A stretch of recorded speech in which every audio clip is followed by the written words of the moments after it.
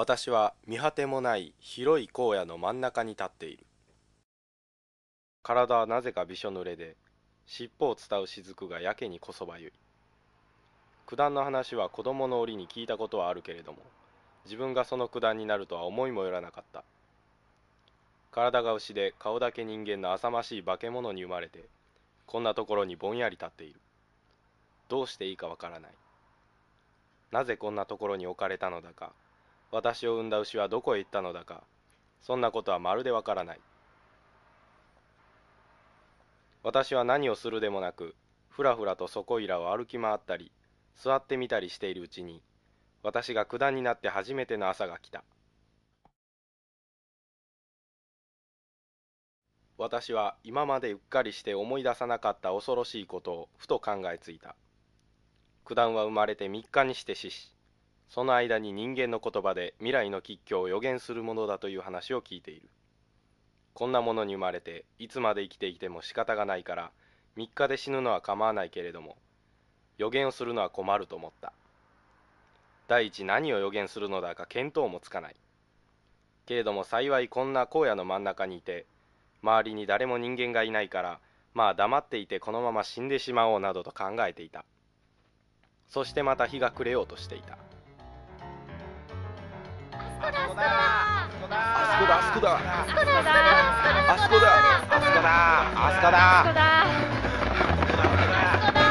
あそこだ。あそこだ。ぞこれはまずい地平線から人間たちがやってくる私は反対の方向へ走ったすると今度はそっちからも人間たちがやってくるのが見える私は右を向いてまた走ったそれでも向こうから人間たちがやってくる。今度はその反対を向いて走った。するとまたそっちからも人間たちがやってくる。ダメだ逃げられない。私は地団打を踏んだ。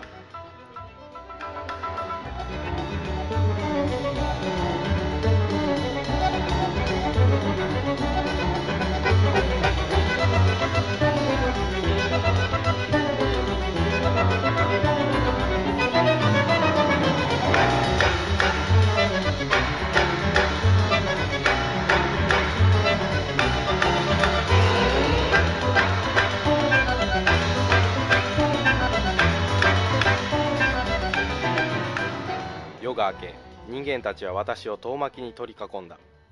その中から一人の白い服を着た男が桶を持って私の前にしずしずと近づいてきた。それまでざわざわしていた人間たちは新刊と静まり返った。その桶には水が入っていた。私は桶に顔を突っ込んで水を飲んだそら飲んだ飲んだ。いよいよ飲んだぞ。これからだ。私はびっくりして水を飲むのをやめた。人々は私が水を飲んでから予言するものと思っているらしい。けれども私は何も言うことがない。声の方を少し見て私はそっぽを向いた。おやそっぽを向いたぞ。ことによると今日ではないのかもしれないな。この様子だとよっぽど重大な予言をするんだ。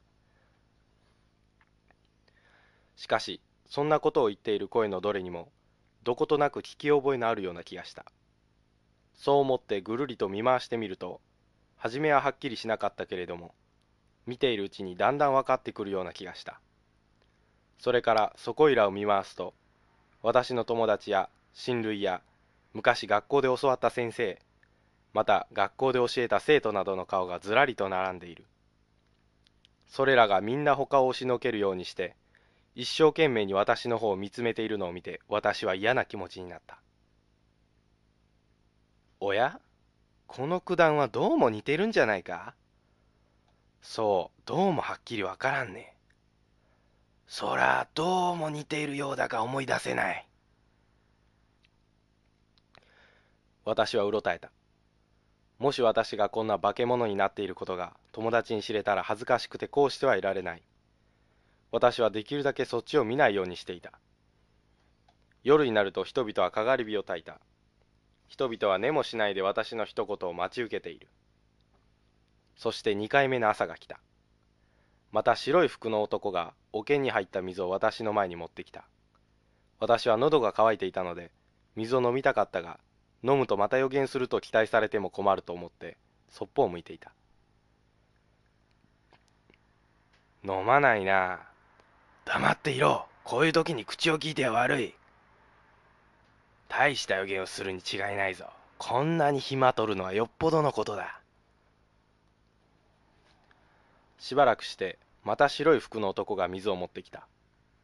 今度は私の顔にその桶を突きつけた。やはり私はそっぽを向いた。ち飲まないか。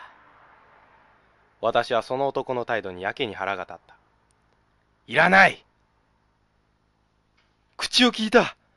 とうとう口を聞いたぞ。何と言ったんだ？いやこれからだ。私自身人間の言葉を話せたことに驚いたが言葉を発してしまったことに私は後悔した。私が人々を無視して黙っているので周りはまた騒がしくなった。日が沈み辺りが薄暗くなった。いよいよ2日目の日が暮れるんだけれども私は何も予言することができない。だが格別死ぬそうな気もしない。ことによると予言するから死ぬので予言をしなければ3日で死ぬとは限らないのかもしれない。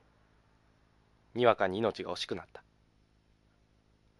夜が明けて気がついてみると人々が私を取り巻く輪が小さくなっている。私はだんだん恐ろしくなった。体から一斉に汗が噴き出した。そしていても立ってもいられず夢中でそこにある桶の水を飲んだ。その途端辺りはまた新刊とした。私はハッとした。しかしもうどうすることもできない。人々は私の一言を聞き逃すまいと耳を澄ましている。それを見てさらに私は恐ろしくなった。どうしたんだろう？変だね。いやこれからだ。驚くべき予言をするに違いないぞ。しかしだんだん人々の顔に不安が見え始めた。私がどうすることもできず黙っていると「ああ恐ろしい」と言い出した者がいた。ふと周りを見るといつの間にか人垣の輪が広がっている俺はもう予言を聞くのが恐ろしくなった。もうこの様子では九段はどんな予言をするかしれない。いいにつけ悪いにつけ予言は聞かない方がいい。何も言わないうちにあの九段を早く殺してしまうのがいいんじゃないか。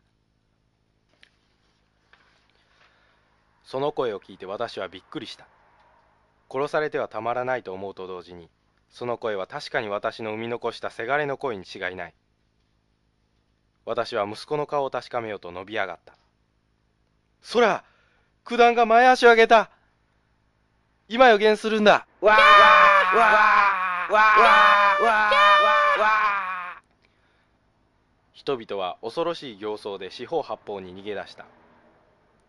人々が夕日と一緒に見えなくなって私はまた荒野で一りぼっちになった。